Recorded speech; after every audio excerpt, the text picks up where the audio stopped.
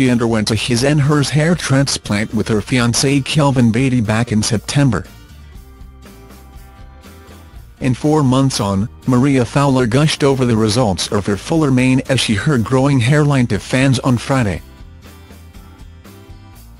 Taking to, the 31-year-old reality starlet appeared delighted as she gave her followers an update on the results of the procedure. Scroll down for video she said, I'm going to give you a hair transplant update because I'm very aware that it's out on show. At the minute it looks like a pure line around my head but, that's because it has still got some redness underneath it, where there's increased blood flow. However before anyone starts being, I have actually got hair around there. But, yeah at the minute it looks like I've got a wall of hair around my head but once this redness has gone, I'll have some depth where the rest of it has come through,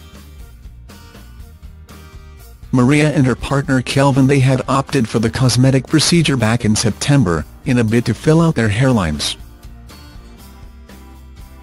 The treatment came as a surprise for Maria's fans, as the former reality star was known for swishing her usually perfect styled and buoyant dresses while stepping out on the showbiz circuit.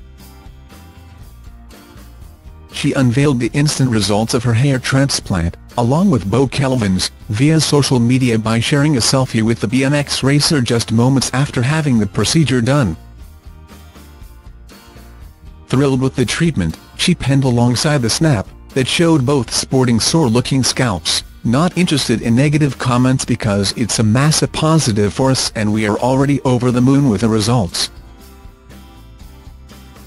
She later added, as you can see we're still in the healing process with our hair but it's actually not sore now at all. Once this comes off we wait for new hair growth to come through and then the hairlines be on fleek.